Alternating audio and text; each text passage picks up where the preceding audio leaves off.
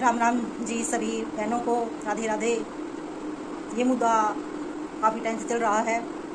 हाँ वही मुद्दा जो मंगलसूत्र के बारे में है कि विधवा औरतें मंगलसूत्र पहन सकती है या नहीं पहन सकती है। काफ़ी बातें हैं कि क्यों पहनती है। तो एक छोटे से कमेंट ने इतना बड़ा बवाल फैला दिया है। तो इसमें ये भी यहाँ पर एक मुद्दा हो सकता है कि जो भी आप कमेंट करते हो तो सोच समझ कर किया करो। कोशिश करा करो कि उसको थोड़ा तोला जाए। कहते हैं ना, बोलने से पहले तोला जाए। तो ये मुद्दा उठा हुआ है कि मंगलसूत्र, उसको नहीं पहनना चाहिए, नाम तो मैं किसी का भी नहीं लूँगी। बहुत सारी वीडियो बनने लग रही हैं लगातार। सब देश से न्यारा हमारा देश हरियाणा। हालाँकि मैं हरियाणा से नहीं हूँ, लेकिन हरियाणा से सटे हुए ही क्षेत्र से हूँ। दिल्ली में, नजफगढ़ क्षेत्र से बिल्कुल पास में ही, शायद चौंतीस, पैंतीस किलोमीटर ही दूर, ढासा और झज्जर गाँव आ जाता है। झज्जर शहर जो है, वह तो थोड़ा सा तो मुझे भी पता है कि हरियाणा में क्या क्या होता है, कितने अच्छी संस्कृति है वहाँ की, क्योंकि दिल्ली और हरियाणा मिक्स ही है। तो मैं बस यही कह रही हूँ कि ये मुद्दे हैं जो कि मंगलसूत्र पहनना, बिंदी लगाना वो अच्छे कपड़े पहनना, ये वैसा पहनती है, ये वैसा पहनती है, ऐसा पहनती है, इसमें इस बात पे मत जाओ। आप यूट्यूब पे आए हो सोशल मीडिया पे आए हो, आप अपने यहाँ पर टैलेंट को दिखाने आए हो, ना कि किसी की चुगली करने या ना कि किसी के, किसी की टांग खींचने के लिए आए हो। यहाँ अपना जो आपके अंदर कैलिबर है, वो दिखाओ, वो दिखाने के लिए आओ। ऐसे किसी किसी के बारे में उल्टा सीधा बोलने का किसी को कोई अधिकार नहीं है। अरे, आज का युग तो ऐसा है कि हम अपने बच्चों को भी मतलब कि कोई भी हुआ, कोई किसी को रोक नहीं सकता और रोकना भी नहीं चाहिए। आप खुद ही कुछ औरतें हैं, कुछ बहनें हैं, हमारे से काफ़ी बड़ी है, बुज़ुर्ग है, वो भी अभी सोशल मीडिया में इसके बारे में उल्टा सीधा बोल रही हैं, लेकिन नहीं बोलना चाहिए। आपके घर भी, बेटी, बहू, सब कुछ है, और भगवान ना करे ऐसा किसी के साथ हो। कभी कुछ नहीं पता कि किस पल में किसके साथ क्या हो जाए। और एक मेरी यहाँ पर, हमारे नजफगढ़ में ही एक मेरी फ्रेंड थी, है मतलब थी नहीं, मिलती है कभी कभी तो मुझे पता नहीं था कि वह विडो है, उसका ब्यूटी पार्लर है, वो अपने सिंदूर भी लगाती है और विश्व भी पहनती है। मंगलसूत्र तो मैंने कभी ध्यान नहीं दिया उसका, लेकिन वो गले में पहन रखा उसने कुछ तो एक दिन ऐसे ही बात कर रहे थे तो बात करते करते वह बोली कि मेरा पति नहीं है। तो मैं बोली, फिर जैसे मैंने फिर कहा तो यानी कि क्वेश्चन हो गया। वहाँ मैं भी गलत थी, पूछना नहीं चाहिए था, लेकिन मैंने ऐसे ही बस फिर ही बोला था। तो वो बोली हाँ बहन, तू जिस बारे में सोच रही है कि मैंने मांग भी भर रखी है, बिंदी भी लगा रखी है और बिछुए भी पहन रखे हैं, इसका कारण यही है कि मैं जहाँ रहती थी, वहाँ से तो मैं आ गई हूँ। क्योंकि ससुराल वालों ने भी परेशान कर दिया था और ससुराल वालों तो किया ही किया, मायके वालों ने भी किया। और उसके बाद फिर मुझे तो अपने बच्चे पालने थे, पढ़ाना था लिखाना था उनको। इसलिए मैं अब, मुझे ब्यूटी पार्लर का कोर्स तो मैंने कर ही रखा था।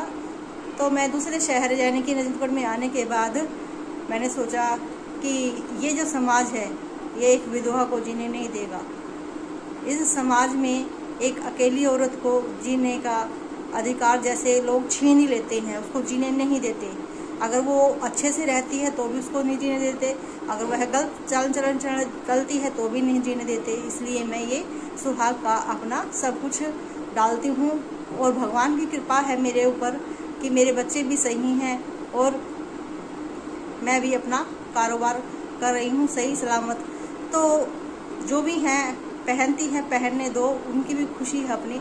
हाँ अब मान लो कि मंगलसूत्र कहते हैं कि मंगलसूत्र जो है एक सुहाग की निशानी है। लेकिन अगर वैज्ञानिक तौर पे या जैसे हमारे ऋषि मुनियों के द्वारा एक बात मैंने कहीं पे पढ़ी थी, उसमें यह था कि मंगलसूत्र का मतलब क्या है? जब एक लड़की को ससुराल के लिए तैयार किया जाता है भेजने कि भाई अब इसकी शादी हो जाएगी तो ये अपने ससुराल चली जाएगी। तब उसको मज़बूत करने के लिए यह मंगलसूत्र होता है कि ससुराल मायके में तो वह बचपन में, मायके के घर में मतलब कुछ भी कभी उठे, किसी टाइम उठे, खाए, पिए, सब चीज़ की उसकी फ्री होती है, उस पर कोई पाबंदी नहीं होती है। लेकिन जब वह दूसरे घर चली जाती है, यानी कि ससुराल चली जाती है तो वहाँ पर उसके ऊपर पाबंदियाँ हो जाती हैं नेचुरली हो जाती हैं। तो ऋषियों ने ही इसका एक सोल्यूशन निकाला। आप भी कभी कहीं देखना पढ़ना। मैंने थोड़ा सा पढ़ा था उसके बस वही बता रही हूँ कि मंगल ग्रह मजबूती का प्रतीक होता है औरतों के लिए। और तो उस इस कारण मंगल को यानी कि मंगल अगर मज़बूत होगा तो वह स्ट्रोंग रहेगी। उसके आ, शरीर के अंग मतलब कि शरीर के अंदर काफ़ी, जैसे रक्त का भी कलर रेड होता है, यानी कि लाल होता है तो मंगल सूत्र में जो धागा भी रोया जाता है, मोती भी रोए जाते हैं, वह भी लाल रंग के होते हैं। आजकल तो यह बना दिए हैं ब्लैक यानी कि काले रंग के मोती डाल दिए हैं वो मंगलसूत्र। लेकिन वैदिक पुराणों में यह ही है कि मंगलसूत्र इसलिए पहनाया जाता था कि एक औरत को मज़बूत उसके अंदर एक मजबूती आ जाए बाकी इतना ही ज्ञान मुझे है, ज़्यादा तो नहीं है। फिर भी मैं सभी से हाथ जोड़कर यही कहती हूँ कि जाने अनजाने में मुझसे भी कोई गलत शब्द निकल गए हो तो क्षमा कीजिएगा। अपनी छोटी बहन, बड़ी बहन, बह, बेटी, सभी, जो भी आप मेरे को आदर देना चाहते हैं, प्यार देना चाहते हैं, फिर भी मैं यही कह रही हूँ कि इस मुद्दे को अब ख़त्म कर दिया जाए। काफ़ी लंबा खिंच गया है ये मुद्दा। अब इसको और आगे ना बढ़ाएँ। सबको अपना जीने का अधिकार है। कोई कैसे भी जिए।